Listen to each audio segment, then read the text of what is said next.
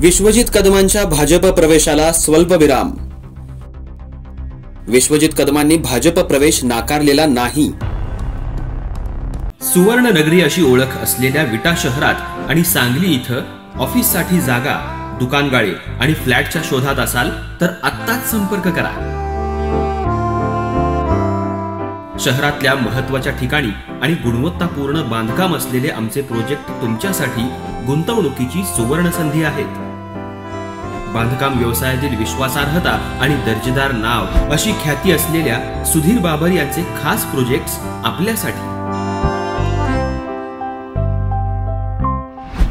Reva square Reva Dwarkadhish Reva pride Reva arcade Reva icon Shivpratap gold tower silver oak project by Sudhir Babar builder contractor and developers. आमचा पत्ता Reva icon Karad road Vita. परवा काँग्रेस नेते अशोक चव्हाण यांनी काँग्रेसच्या सदस्यत्वाचा राजीनामा दिला.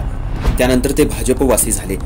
त्यांच्या भाजप प्रवेशानंतर लगोलग काँग्रेसचे आमदार विश्वजित कदम यांनी एक व्हिडिओ तयार करत तो माध्यमांकडे दिला की आपण अजून काँग्रेसमध्येच आहोत आणि अजून तरी काँग्रेस सोडलेली नाही. नमस्कार.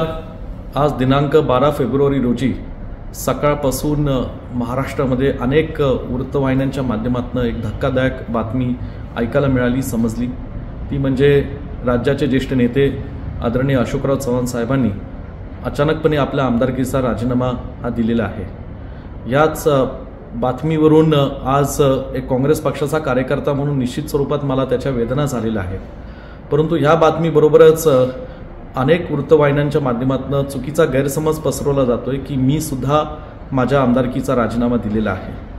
प्रथमतः मी माझ्या आमदारकीचा राजीनामा दिलेला नाही. मी आजही काँग्रेस पक्षाचा एक कार्यकर्ता म्हणून काम करत आहे.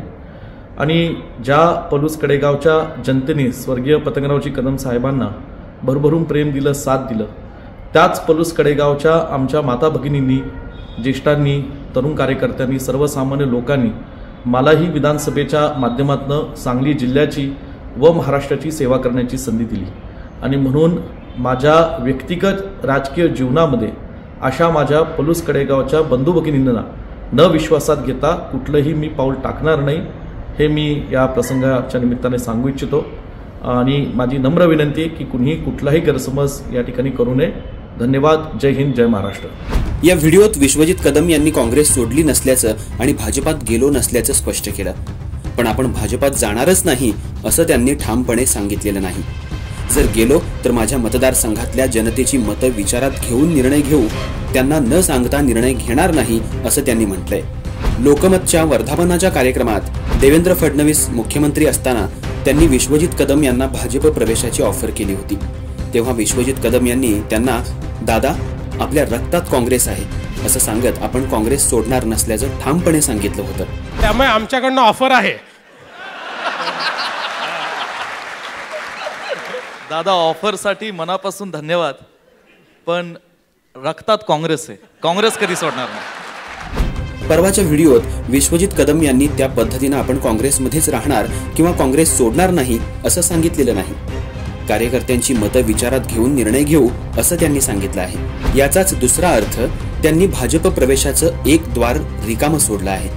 आपण भाजपात जाऊ शकतो पण आत्ताच नाही किंवा आज गेलेलो नाही. कार्यकर्त्यांना विचारात घेऊन दुसऱ्या टप्प्यात ते भाजपात जाऊ शकतात. गेली अनेक दिवस झालं विश्वजित कदम यांच्या भाजपा प्रवेशाची चर्चा सुरू आहे. ते का भाजपात जाणार आहेत? त्यांच्या अडचणी काय आहेत? वगैरे वगैरे मुद्द्याची चर्चा सतत झडत असते. परवाच्या विश्वजित कदम यांनी केलेल्या व्हिडिओत त्यांनी भाजप प्रवेशाच्या चर्चेला पूर्णविराम दिला नाही. त्यांनी या चर्चेला स्वल्पविराम दिला आहे. ते भाजपात जाणार हे नक्की असल्यासारखं वाटत आहे. फक्त ते भाजपात कधी जाणार याचीच उत्सुकता लोकांच्या मध्ये आहे.